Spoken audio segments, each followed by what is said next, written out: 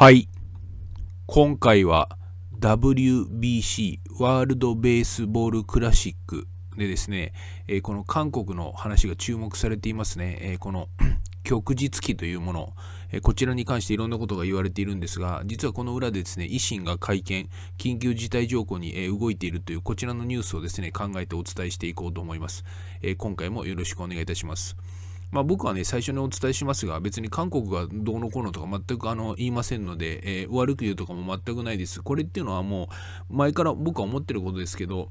日本の宗主国であるアメリカがですね、えー裏で、えーまあ、いろんな指示を飛ばして、えーまあ、例えばこの日韓関係とか、そういうことをあの、ねえーまあ、対立するように言ってると考えられるんですよ。別に韓国がどうこうも別にないし、えーただですね、この話っていうのは非常に、えーそのように注目されてるんで、まあ、おかしいことだなと思いますし、えーそちらを考えていこうと思います。まあ、皆さんもこちら、えー見てる方がいいらっしゃると思うんで、えーまあ、そのね、その内容に関して、野球の内容に関しては手短にお伝えしますが、このね、2023年のワールドベースボールクラシック、WBC っていうやつですよね。で、この日本と韓国のね、野球の試合があ東京ドームであって、でこの東京ドームでこの旭日旗がどうのこうのとかって言ってるんですけど、別にはっきり言いますけど、どうでもいいんですよ。そんなことはっきり言ってどうでもいいんで、別に韓国を悪く言うわけでもないし、えー日本にとっても別にどうでもいいんですよ。本当にね。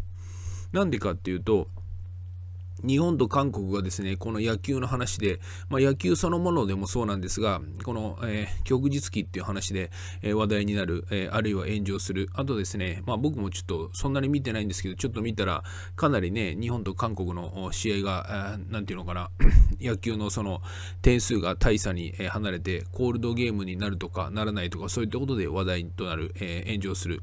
コールドで終わらせない日本がどうのこうの韓国がどうのこうのと言って話題になり炎上する。とにかくそういったもので炎上する、うん、どうでもいいんですよ正直。なんでそうやって炎上するのかっていうと狙いは一つです。マスコミを利用してですね、えこの、まあ、WBC っていうワールドベースボールクラシックっていうね、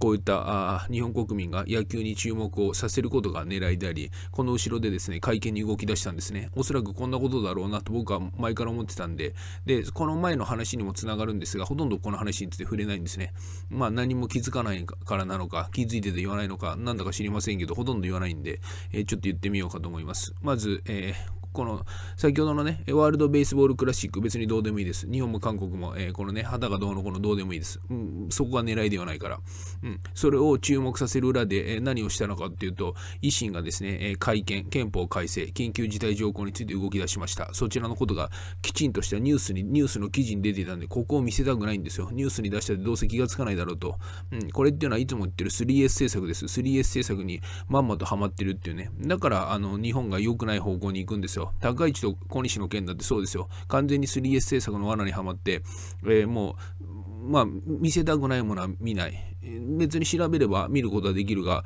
えーそういったものには気がつかさせさせない。そういったものにまんまと、えーまあ、はまるっていう、そういった話です。こういったことがちゃんとニュースのものに出ていて、こここを気にした方がいいんですよ。だからさっき言いましたけど、別に日本と韓国のこのね、旭日旗とか旗とか別にどうでもいいんですよ。どうでもよくない話はこっちですよ。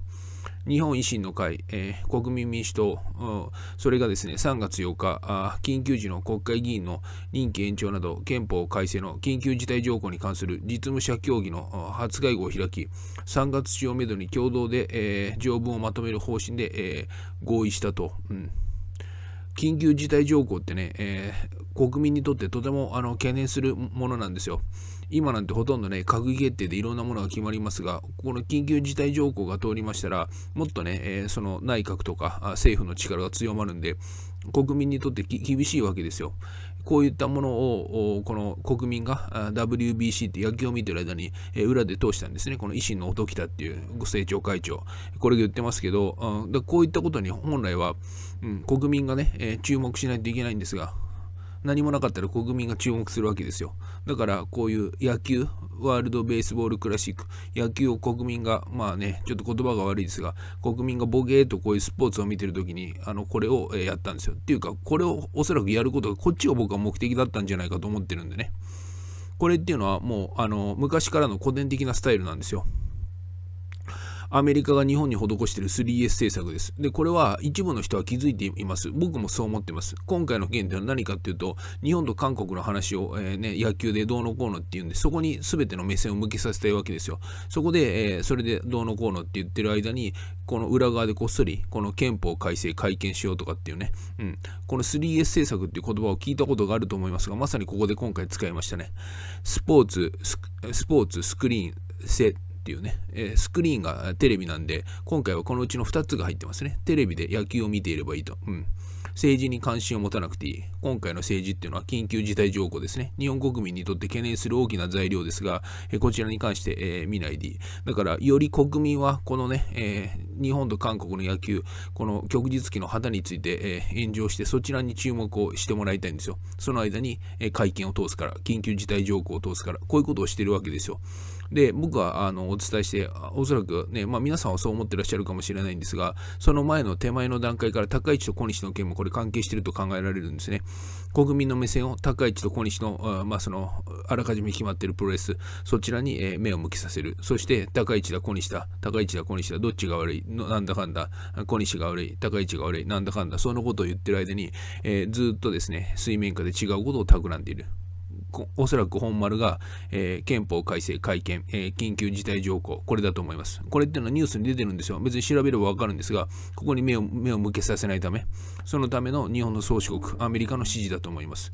ほとんどですね、この話してる人がいないんですよ。別に僕らは同じ情報を持ってるはずなんですが、そういったところに目線をそらすこと、それがこの 3S 政策の狙いです。このね、よく、えー、っと、ちょっと前にお話した高市と小西の件でね、えー、日本が良くなるとか、えー、ね、その、